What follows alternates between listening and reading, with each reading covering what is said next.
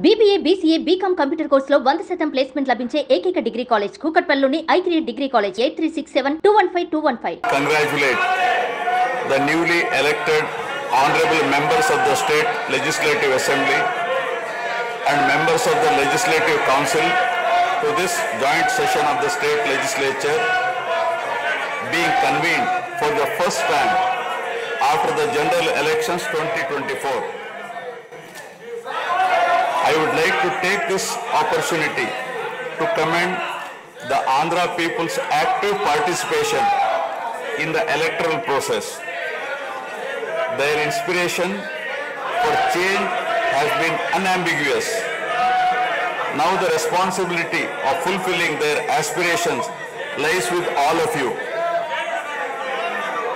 Honorable members, you are aware that due to the supreme sacrifice of Amarajeevi Potti Sriramulu, Andhra Pradesh was formed as the first linguistic state on 1st October 1953 with Kurnool as capital. Thereafter, the state was recognized on 1st November 1956 and Telugu speaking parts of Hyderabad state were made into the combined Andhra Pradesh with Hyderabad as capital. Accordingly, a lot of Telugu people moved to Hyderabad. Again, in June 2014, the people of Andhra Pradesh were forced to undergo another reorganization of their state, the most damaging experience of all. The united Andhra Pradesh was bifurcated unscientifically, undemocratically, and without adequate consultation with the stakeholders. This has left an indelible mark on the minds of the people of the residual state of Andhra Pradesh.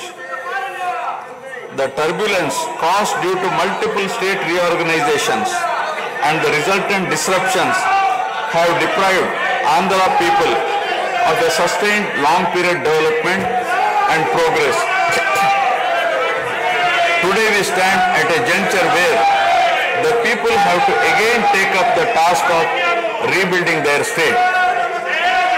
As time has progressed, it has become evident that the Andhra Pradesh Reorganization Act 2014 does not compensate enough the residual Andhra Pradesh for the loss of prosperity and development opportunities.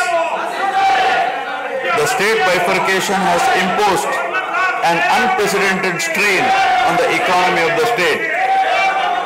There are patent inconsistencies in distribution of assets and liabilities. With 58.32% of combined state population, the unscientific bifurcation caused the state to inherit only 46% of the resources, financial loss on account of loss of Hyderabad city, disproportionate debt burden, loss of access to public institutions, loss of national institutions, Government of India PSUs, and institutions of higher learning, etc.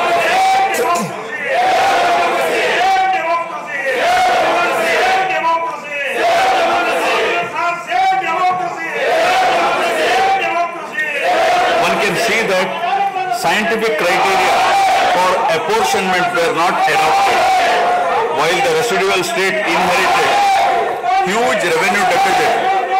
Debt was shared on population basis, assets on location basis, power sharing on consumption basis, and worst of all, educational institutions with no basis. All these factors led to the structural change in economy with reduction of service sectors from 51% to 44%.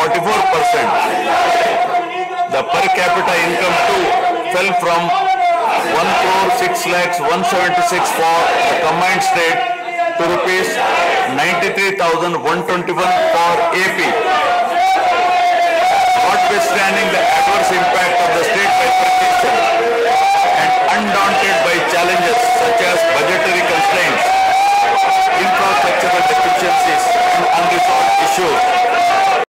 టీవీలో మీ personal and business promotions కోసం కింది నెంబర్కి contact చేయండి.